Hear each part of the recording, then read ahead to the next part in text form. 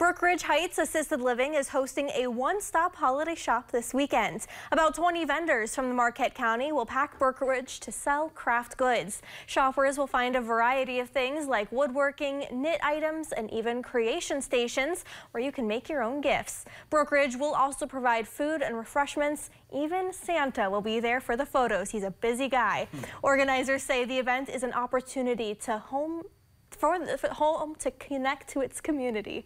One of the big things for Brookridge this year has been all about our connections and making um, making connections with our community. And this is an opportunity for us to do that, invite people in and uh, visit with us and have a happy holidays.